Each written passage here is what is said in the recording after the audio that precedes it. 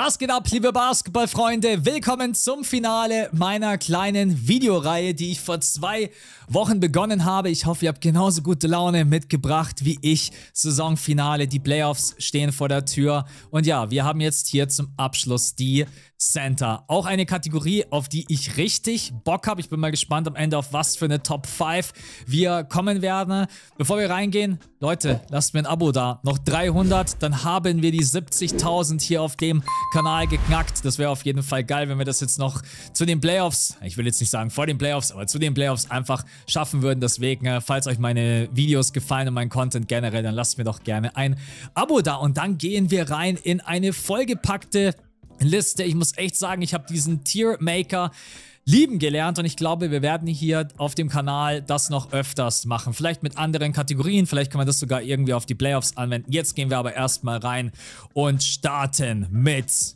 Victor Wembanyama, den ich wahrscheinlich auch einfach provokativ aufs Thumbnail packen werde. Schieb ihn einfach mal dahin.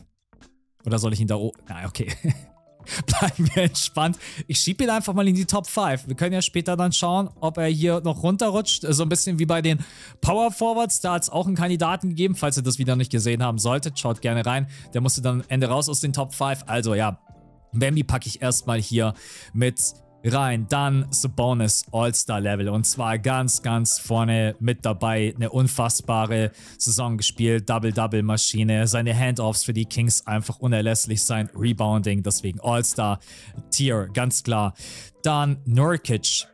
Boah, was hat Nurkic vor der Saison für Hate abbekommen? Also, das, das wurde so schlecht geredet. Ich habe gesagt, ja, The Bosnian Beast hat natürlich auch seine Schwachpunkte, aber das war noch echt eine starke Saison von ihm als Rollenspieler. Bei den Suns hochprozentig aus dem Feld getroffen, offensiv die Bretter zerstört, generell Rebound-technisch in dem ein oder anderen Spiel komplett eskaliert. Also ich glaube, da kann man sich wirklich nicht beschweren anstelle der Phoenix Suns. Deswegen starker Rollenspieler. Dann würde ich sagen, Rudy Gobert All-Star-Level. Äh, James Wiseman, auch wenn er vielleicht so das ein oder andere gar nicht so schlechtes Spiel mit dabei hatte. Na, I don't know. Ich habe keine Ahnung. Ich weiß nicht. James Wiseman. Es sind schon irgendwo Ansätze da, aber glaube ich so wirklich an ihn? Nee. Genauso wie Jalen Duran. Ich bin ja eigentlich wirklich ein riesen Jalen Duran-Fan und mir gefällt auch das Zusammenspiel mit Kate Cunningham, aber Jalen Duran muss echt defensiv, also drei Schritte nach vorne machen. Deswegen, ich packe die beiden mal in diese unterste Kategorie. Machen wir weiter mit Hartenstein ja, strong Roleplayer. Also was der bei den Knicks in der Saison gespielt hat, äh, vor allen Dingen auch sein Rebounding, unglaublich wichtig, wie er sich bewegt, wie er seine Screens stellt. Richtig, richtig geile Saison von Isaiah Hartenstein. Ich glaube sogar Vertragsjahr, oder? Wenn ich mich nicht täusche. Ja, also und vor allen Dingen in der Abwesenheit wirklich von Mitchell Robinson da einen überragenden Job gemacht. Dann geht es weiter mit Larry Nance Jr., der hat zwar jetzt nicht irgendwie mega viele Punkte, aber Larry Nance Jr. ist so unglaublich wichtig, weil wer die Pelicans-Spiele sich ansieht, der weiß auch, äh, man startet mit Valanciunas, aber ganz, ganz oft closed man damit Larry Nance Jr. auf der 5, weil Larry Nance Jr. einfach der bessere Verteidiger ist und der vor allen Dingen dann nochmal mehr Spacing mitbringt. Deswegen hier muss man wieder so ein bisschen die Stats ausblenden und sagen, Larry Nance Jr. ist ein unfassbar starker Rollenspieler und deswegen, das ist genau die richtige Kategorie für ihn. Dann Towns, natürlich All-Star-Level. Kevin Love würde ich sagen, good but not perfect. Äh, glaube ich, macht in der Saison so viele Spiele wie in den letzten beiden Jahren zusammen, aber der Dreier will irgendwie nicht mehr so richtig fallen und natürlich auch defensiv ist er unglaublich anfällig. Deswegen packe ich ihn hier mit rein. Maxi, defensiv sieht das Ganze schon wieder ganz gut aus. Offensiv, naja, naja, ich würde Maxi aber auf jeden Fall hier vor Kevin Love packen, aber ja, strong Roleplayer, da da kann ich ihn nicht reinschieben, weil ich da jetzt zum Beispiel auch einen Gafford reinpacken werde. Und Gafford ist, äh, ja, also zum einen natürlich der perfekte Sidekick für Luka Doncic. Also ich meine, Gafford im Endeffekt muss nichts anderes machen, außer Lobs fangen und dir Rim Protection geben. Ja, wir haben auch damals in der Maps-Analyse so ein bisschen die Punkte angesprochen, wo, angesprochen, wo Gafford auch defensiv seine Schwachstellen hat. Aber so äh, overall auf jeden Fall ein Top-Rollenspieler für die, für die Maps. Dann Jalen Beats viele Spiele verpasst, trotz allem. Da mache ich jetzt heute mal kein Thema draus. Bei den Top 10 Playern werden wir ihn eventuell rauslassen, weil er einfach ja die halbe Saison verpasst hat und trotz allem, also Joel Embiid ist einfach ein Top 5 Center. Genauso wie, wen kann man denn da noch reinpacken? AD. AD auf jeden Fall schiebe ich da auch schon mal rein in die Kategorie. Dann nehmen wir doch mal einen Rookie. Jackson Davis. Saugeile Saison. Guter Einstand bei den Warriors. Du könntest schon fast sagen, du packst den in die Kategorie Strong Roleplayer. Wobei ich ja Rookies auch mal ganz gerne da unten reingepackt habe. Aber ich bin bei ihm nicht beinahe, I don't know. Ich bin bei ihm schon so, hey, ich sehe, was du kannst, wie du dich Offball bewegst, wie du deine Screens stellst und alles. Deswegen, äh, mh, komm, ich pack, pack ihn mal hier auf, äh, auf die linke Seite bei Good But Not Perfect, auch wenn man ihn sicherlich, äh, aber ich glaube, Rollenspieler haben wir noch sehr, sehr viele gute. Zum Beispiel einen Bobby Portis. Ja, kann man Bobby vielleicht sogar hier ganz an die, link, an die linke Seite schieben. Wahrscheinlich schon, ja. Also Bobby Portis ist äh, ein guter Verteidiger, sehr guter Verteidiger, Er trifft den Dreier hochprozentig. Ähm, in manchen Matchups auch ehrlicherweise besser zu spielen als ein Brook Lopez. Ich weiß gar nicht, was wir mit Brook Lopez machen jetzt in der Saison. Also Rollenspieler starker auf jeden Fall. Aber er ist auch nicht mehr der Jüngste, ja. So, es ist alles nicht mehr irgendwie so on point, auch von der Defense her, auch wenn er, man muss ihn klein wenig verteidigen, für manche Dinge kann er einfach gar nichts dafür, ja. Ähm, das war die letzten zwei, drei Jahre mit Drew Holiday, Grayson Allen und so weiter am Perimeter auch einfach ein bisschen leichter und anders zu verteidigen, als jetzt mit einem Dame, Malik Beasley, Pat Connaughton, Jay Crowder. Ja, und trotz allem, also die perfekte Saison für ihn ist es auf jeden Fall nicht. Dann Jokic, ja, Top 5. Ich glaube, da muss ich jetzt nicht großartig irgendwas dazu sagen. Chad Holmgren. Mm. All-Star? Nein. Ich packe ihn mal hier rein bei den starken Rollenspielern. Äh, auf jeden Fall wesentlich stärker als jetzt ein Jackson Davis. Äh, Rollenspieler, unfassbare Saison gespielt. Sehr, sehr effizient, hat sich perfekt eingefügt. Großes Kompliment nochmal an Mark Dagnold und auch an Chat, wie das einfach, wie sie das generell einfach gehandelt haben. Auch mit Casey Wallace und Isaiah Joe. Äh, ich bin auch großer Fan davon, dass Mark Dagnold Coach of the Year werden sollte. Dann Derek Lively, starker Rollenspieler, würde ich mal hier so in die Mitte packen. Hat natürlich auch noch so ja, achso, warte, jetzt muss ich aufpassen mit Gaffords. Ich, weil er Rookie ist. Ja, okay, das ist Chat auch, aber Chat und Derek Lively, ich glaube, das wisst ihr selber, da ist schon ein krasser Qualitätsunterschied. Ich schiebe ihn mal hier auf die rechte Seite. Ähm, ja, gute Ansätze gezeigt. Äh, Glaube ich, ganz, ganz viel Potenzial. Ich denke, da können sich die Mavs in den nächsten Jahren auf jeden Fall über einen Spieler freuen, der sich da noch äh, weiterentwickelt. Jared Allen, All-Star-Level. Schengen, All-Star-Level. Bam Adebayo, Top 5. Jupp. Daniel Theiss, starker Rollenspieler für mich. Eher so in der hinteren Kategorie einzuordnen macht die Dinge, die man von ihm verlangt, hat sehr, sehr wenig den Ball in der Hand. Die Quoten aus dem Feld sind okay. Screens sind ganz, ganz wichtig für die, für die Clippers. Hält den Ball am Laufen, wenn er reinkommt. Also auf jeden Fall kein negativer Faktor. Dann Miles Turner hatte schon mal stärkere, der hatte schon mal stärkere Jahre. Es ist keine schlechte Saison. Aber von den Blockwerten äh, auf jeden Fall gesunken. Ich glaube auch die, die Dreier-Percentage ist nicht mehr so hoch. Ich schiebe ihn mal einfach hier in die Mitte. Weiß ich auch gar nicht, ob ich jetzt diese Kategorie so komplett einmal durchranke, aber ich schiebe es jetzt einfach mal so im ersten Moment, wie ich das fühle. Und denke, Porzingis All-Star-Level. Haben wir noch jemanden fürs All-Star-Level? Hm. Boah, Draymond. Boah, Draymond ist spannend. Was macht man denn mit ihm? Naja, All-Star-Level ist es nicht. Also auch eigentlich starker Rollenspieler. Aber ich, ja, du kannst Chat schon da vorne lassen. Einfach auch mit der, mit der Rim Protection und mit der Defense, die er den äh, Thunder gegeben hat und mit den Quoten und so. Das äh, passt schon. Und ich schiebe jetzt mal Draymond so einfach hier an die dritte Position. Vielleicht merke ich auch später dann, das All-Star-Level ist zu nackig, in Anführungsstrichen, und schiebe vielleicht noch den einen oder anderen hoch. Okay, Clint Capella. Ja, Double-Double-Maschine, bin aber mittlerweile nicht mehr der größte Fan von Clint Capella. Würde mir wünschen, äh, ganz ehrlich, würde mir einfach wünschen, dass man Onyeka Okongwu einfach mal dieses Vertrauen gibt, dass man Clint Capella einfach mal wegtradet. Ähm, Okongwu hat so ein großes Potenzial schiebe ich jetzt mal hier unten rein in die Kategorie Good but not perfect, weil Capella natürlich immer noch die besseren Zahlen auflegt. Aber ja, die Hawks sind einfach ready für den Umbruch. Es muss was passieren. Äh, du musst dieses Team einfach mal auf den Kopf stellen. Ich, ich sage auch, du musst Trey Young wegtraden. Ähm, da gehört einfach ein kompletter Umbruch her. Ähm, und auf der Position, ja, würde ich fast sagen, hat man das schon fast verpennt. Okay. Dann machen wir weiter mit Valanciunas. Zudem habe ich ja vorhin schon ein paar Worte verloren, als wir über Larry Nance Jr. gesprochen haben. Ich schiebe ihn mal hier rein bei Good But Not Perfect. Ich mag Larry Nance Jr. tatsächlich lieber auf dem Feld als äh, Valanciunas, auch wenn er eine ordentliche Saison spielt für die, für die Pelicans. Aber für mich ist, ja, ist einfach Larry Nance Jr. der, der bessere Spieler, der bessere Fit. Dann Paul Reed starke Rollenspieler mussten natürlich jetzt in der Zeit von Beats in die Bresche springen, hat das gar nicht schlecht gemacht.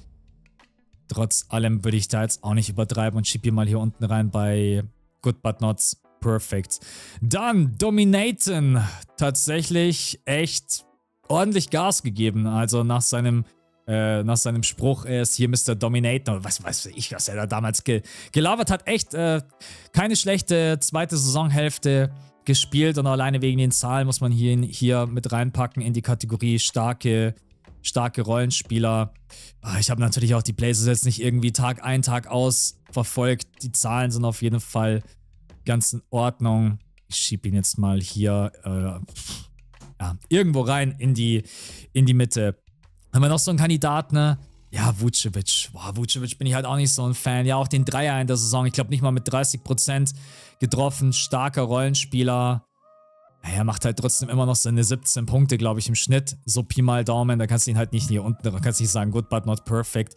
Aber eigentlich, er ist gut, aber halt nicht perfekt. Irgendwie ist er so das Paradebeispiel. Komm, ich mach das jetzt einfach mal. Ist mir scheißegal, ob der 17, 18 Punkte im Schnitt auflegt. Es ist einfach, Vucevic ist good but not perfect. Er ist irgendwie da im Begriff für diese Kategorie. Die Tatze. Äh, gute Saison für die Orlando Magic, vor allem defensiv ein ganz, ganz wichtiger Faktor. Auch good but not perfect. Hier so vielleicht in der Kategorie. Da würde ich dann Mo auch einfach mit reinschieben. Die beiden ähm, ja, bei den Magic defensiv alles tippitoppi, von Jamal Mosley auch richtig geil gecoacht. Offensiv ist das teilweise schon sehr, sehr schwierig anzusehen. Da muss auf jeden Fall ähm, der Kader ein klein wenig umstrukturiert werden, das definitiv. Und vom Coaching her muss da Jamal Mosley auf jeden Fall dann auch nochmal irgendwie den einen oder anderen Kniff finden, damit das dann besser läuft. Wir haben noch Kevon Looney der in der Saison so wenig Minuten wie, glaube ich, seit ein paar Jahren nicht bekommen hat, hat auch seinen Starting Five Spot verloren.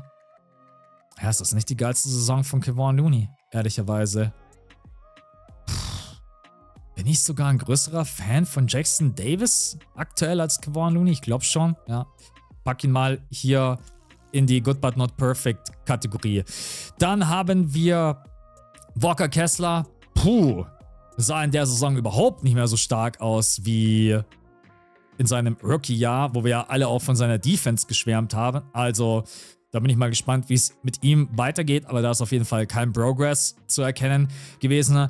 Bleiben wir auch hier gleich vielleicht bei den äh, Utah Jazz. John Collins hat keine schlechte Saison gespielt, offensiv, defensiv schwieriges Thema, aber offensiv die Zahlen haben auf jeden Fall mal wieder gepasst. War, glaube ich, mit seiner beste Saison seit äh, zwei Wobei, wann war er so krass? 2018, 19, glaube ich. Sowas in dem Dreh, als er noch bei den Hawks gespielt hat. Hm, ja, ich glaube hier so hinter Miles Turner ist so die richtige, der richtige Spot für ihn. Dann haben wir noch Al Horford, auch ordentliches. Ich meine, Horford ist mittlerweile 100 Jahre alt und trotz allem trifft er den Dreier hochprozentig, äh, kick, killt irgendwie nicht das Spacing der, der Celtics und ist immer noch ein ordentlicher Verteidiger, besonders in dem einen oder anderen Matchup ja komplett am Eskalieren. Den schieb ich mal hier. Ja. Ah, schwierig. So. Nee, ich glaube, ich hätte. Ich glaube auch, wenn die. Nein, nein, nein. Wenn du, wenn die, ähm, Wenn die Celtics Larry Nance Jr. im Team hätten, anstatt Al Horford, das würde genauso gut funktionieren. Deswegen äh, packe ich ihn da hin. Dann haben wir noch drei Spieler. Zach Collins. Taffe Saison für ihn, hat seinen Starting Five Spot dann irgendwann auch mal auch verloren an der Seite von, äh, von Victor Wembanyama. Das sogar, glaube ich, relativ zügig innerhalb der ersten ein, zwei Monate. Schiebe ich mal hier so in die Kategorie Good But Not Perfect. Dann hast du noch Subats, ordentliche Saison, hochprozentig aus dem Feld äh, getroffen. So generell finde ich, macht er eigentlich einen ganz ordentlichen Job. Habe ich auf jeden Fall. Ja. Aiden ist jemand so, der ist echt so schwierig für mich anzuhalten. Ich schiebe ihn dahin. Ja, Claxton ist auch so eine Double-Double-Maschine. Mm, guter Rollman, trifft hochprozentig am Korb, hat zwei Blocks im Schnitt. Ich glaube, ich muss noch den ein oder anderen... Das, das ist schon nicht schlecht, aber es ist halt irgendwie nicht so, dass ich, dass ich sage... Ja, dann bist du aber vielleicht bei Daniel Theiss zu hoch. Muss man Daniel Theiss vielleicht hier runterschieben? Ich, ich, ja, doch, muss ich. Doch. Ich packe Daniel Theiss hier unten rein in diese Kategorie. Claxton packe ich dann da mit rein. Äh, Derek Lively schiebe ich auch mal hier runter bei Good But Not Perfect. Ich meine, das ist ein Rookie, der hat noch so viel Potenzial. Ähm, und vielleicht auch da nicht mit in der gleichen Kategorie zu sein mit Chad Holmgren ist vielleicht dann auch irgendwie ganz ansprechend. Claxton äh, hat, hat überhaupt keinen Wurf, deswegen ist er da eigentlich mit Clint Capella ganz gut aufgehoben in der Kategorie. Und dann glaube ich, bin ich damit so einigermaßen zu zufriedener. Jo, dann All-Star-Level, so Bonus für mich auf jeden Fall ganz weit vorne mit dabei. Dann äh, Towns hat eine starke Saison gespielt, bevor er sich verletzt hat. Posingis auch halt natürlich offensiv, alleine durch seinen Wurf sehr, sehr stark. Post-Up-Game äh, so stark wie wahrscheinlich noch nie in seiner Karriere. Schengen lasse ich mal da hinten rechts auf der Seite, weil von allen noch irgendwie der, der jüngste. Äh, Gobert defensiv natürlich auf einem ganz anderen Level jetzt als die Jared Allen. Deswegen, ich würde sagen, so in der Reihenfolge passt das. Und dann kommen wir jetzt noch zu den Top 5. Da laber ich jetzt heute nicht groß rum. Jokic ist der beste Center in der, in der NBA. Ich glaube, da gibt es irgendwie auch keine zwei Meinungen. Dahinter kommt für mich Embiid. Dann kommt für mich AD. Und jetzt glaube ich, werden die Heat-Fans vielleicht ein bisschen angefressen sein. Aber ich sag, Bambi ist jetzt schon besser als Bam. Bambi ist jetzt schon besser als Bam, einfach weil er eine ganz andere On-Ball-Shot-Creation hat als Bam Adebayo. Und bei Bam wartest du irgendwie seit Jahren darauf, dass es irgendwie vielleicht noch kommt. Bam ist so ein starker Verteidiger, ja. Das kannst du ihm auch überhaupt nicht wegnehmen. Aber was ist Wemby? Wemby ist jetzt in seinem ersten Jahr schon einfach ein absolutes defensives Monster. Und wenn man sich auch einfach die Zahlen anschaut seit dem All-Star-Break, dann ist Victor Wembanyama jetzt einfach schon ein Top-5-Center. Äh, und ich will da auch wirklich, ich will Bonus nichts wegnehmen, ich will Towns nichts wegnehmen, Porzingis, Bam Adebayo. Aber Wemby ist einfach der nächste große Shit in der NBA. Man muss es einfach ganz klar so sagen. Und hey, ich weiß nicht, ob der Spot da oben so sicher ist über die nächsten zwei, drei Jahre, wenn der Typ sich so weiterentwickelt, also jetzt im ersten Jahr schon so aufzuzocken, ist einfach überragend. Deswegen Jokic, Embiid, AD, Wemby und dann Gobert, Sabonis, Towns etc. etc. Ja, Freunde, damit sind wir durch mit dem Positionsranking. Vielen, vielen Dank an alle, die mitdiskutiert haben für die ganzen Kommentare. Hat sehr viel Spaß gemacht. Das macht man vielleicht irgendwie einmal in der Saison. Also ich werde das jetzt auf jeden Fall die nächsten Wochen, Monate so schnell nicht nochmal machen, sondern vielleicht irgendwie wieder ja, keine Ahnung, zu Weihnachten oder so, wenn halt einfach wieder eine gewisse Zeit vergangen ist. Äh, für den Moment sind wir aber erstmal durch. Euch auf jeden Fall jetzt ganz viel Spaß beim Saisonfinale. Nicht vergessen, äh, Björn und ich, wir kommentieren Magic gegen Bucks am Sonntag. Ich weiß gar nicht, wann ich das Video für euch rausballern werde. Deswegen einfach mal hier schon als Erwähnung. Und genau, wenn es euch gefallen hat, lasst mir gerne einen Daumen nach oben da und natürlich auch gerne ein Abo. Und dann bis zum nächsten Mal. Top 10 Player kommt auch noch. Das war's von mir. Bis zum nächsten Mal. Ciao.